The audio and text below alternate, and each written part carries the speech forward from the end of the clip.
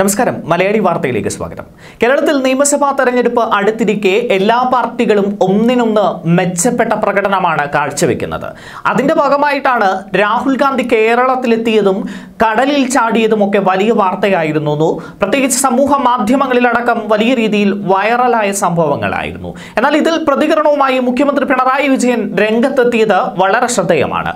രാഹുൽ ഗാന്ധി നല്ല ടൂറിസ്റ്റ് ആണ് മുഖ്യമന്ത്രി പിണറായി വിജയൻ ഇങ്ങനെയാണ് പറയുന്നത്. അദ്ദേഹം കടലുകളിലും നീന്തി ശീലിച്ചിട്ടുണ്ടാകും. എന്നാൽ ലോകത്തിലെ മറ്റ് കടലുകളിൽ നീന്തുന്നത് പോലെയല്ല കേരളത്തിലെ കടൽ എന്ന് മുഖ്യമന്ത്രി പറഞ്ഞു. ശംഖുമുഖത്ത് നടന്ന യുവ മഹാസംഗമം ഉദ്ഘാടനം ചെയ്ത് സംസാരിക്കുമ്പോഴായിരുന്നു രാഹുൽ ഗാന്ധിയുടെ കേരള സന്ദർശനത്തെക്കുറിച്ചുള്ള പിണറായിയുടെ പരിഹാസം. അദ്ദേഹം നല്ല ടൂറിസ്റ്റ് ആണ് അങ്ങനെ ലോകത്തിന്റെ പല ഭാഗങ്ങളിലും അദ്ദേഹം പോകാറുണ്ട്. ചില കടലുകൾ തീർത്തും ശാന്തമാണ്. അവിടെ ടൂറിസ്റ്റുകളിൽ കടലിൽ ചാടി നീന്താറുണ്ട്. അദ്ദേഹവും അങ്ങനെ നീന്തി ശീലിച്ചിട്ടുണ്ടാകും. കേരളത്തിലെ കടൽ അങ്ങനെ നീന്താൻ പറ്റുന്ന കടലല്ല. കേരളത്തിലേത് അത്ര ശാന്തമായ കടലല്ല.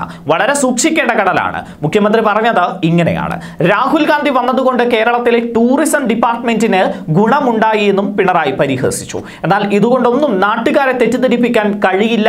ജനങ്ങൾ എൽ ഡി എഫിനൊപ്പമാണ് എന്നും കോൺഗ്രസ് മനസ്സിലാക്കണമെന്നും മുഖ്യമന്ത്രി പറഞ്ഞു. തെരഞ്ഞെടുപ്പിൽ ബി ജെ പിയും കോൺഗ്രസും നേരിട്ട് ഏറ്റുമുട്ടുന്ന ഒരു സംസ്ഥാനങ്ങളിലും ദേശീയ നേതാവായ രാഹുൽ ഗാന്ധി പോകുന്നില്ല. പുതുച്ചേരി അടക്കമുള്ള സംസ്ഥാനങ്ങളിൽ എന്തുകൊണ്ട് രാഹുൽ ഗാന്ധി പോകുന്നില്ല എന്ന് അദ്ദേഹം വ്യക്തമാക്കണമെന്നും പിണറായി ആവശ്യപ്പെട്ടു. അതേസമയം കേരളത്തിൽ ഭരണ തുടർച്ച പ്രവചിച്ച് തുടർച്ചയായ നാലാമത്തെ സർവേ ഫലവും പുറത്തു വന്നത് ശ്രദ്ധേയമായി.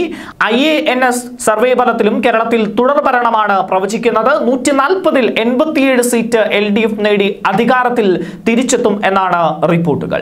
സി പി എമ്മിനെതിരെയും മുഖ്യമന്ത്രിക്കെതിരെയും ആഞ്ഞടിച്ച ശേഷം കടലിൽ ചാടിയ രാഹുൽ ഗാന്ധി ഇനി പൊങ്ങിയിട്ട് കാര്യമില്ല എന്ന തരത്തിലാണ് ഇത്തരത്തിലുള്ള സർവേകൾ സൂചിപ്പിക്കുന്നു. മാത്രമല്ല ഈ സർവേ ഫലങ്ങളെല്ലാം തന്നെ കോൺഗ്രസിനെ സംബന്ധിച്ച് വലിയ ആശങ്കയ്ക്ക് വഴിവെക്കുന്നുമുണ്ട്. കേരളത്തിൽ നാല് പ്രശസ്ത ഗ്രൂപ്പുകളാണ് തുടർച്ചയായി ഭരണ തുടർച്ച പ്രവചിക്കുന്നത്. Asianet twenty four A B C എന്നിവയ്ക്ക് പുറമെ ഐ എ എൻ എസ് സർവേയും പറയുന്നത് എൽ ഡി എഫ് ശരിയാക്കും എന്ന് തന്നെയാണ്. കേരളത്തിൽ ഇടത് തുടർ ഭരണമെന്ന A B V P news C voter അഭിപ്രായ സർവേക്ക് പിന്നാലെയാണ് സമാന സർവേ ഫലവുമായി ഐ എൻ എസ് സർവേയും എത്തുന്നത്. നൂറ്റി നാൽപ്പതിൽ എൺപത്തിയേഴ് സീറ്റ് എൽ ഡി എഫ് നേടുമെന്നാണ് ഒൻപതിനായിരം പേരെ ഉൾപ്പെടുത്തി നടത്തിയ സർവേ ഫലം പറയുന്നത്. യു ഡി എഫിന് നാൽപ്പത്തിയേഴ് മുതൽ അൻപത്തിയൊന്ന് വരെ സീറ്റ് ലഭിക്കും. ബി ജെ പി നിലവിലെ ഒരു സീറ്റിൽ തന്നെ ഒതുങ്ങുമെന്നും സർവേ പ്രവചിക്കുന്നു. News desk Malayali Vartha.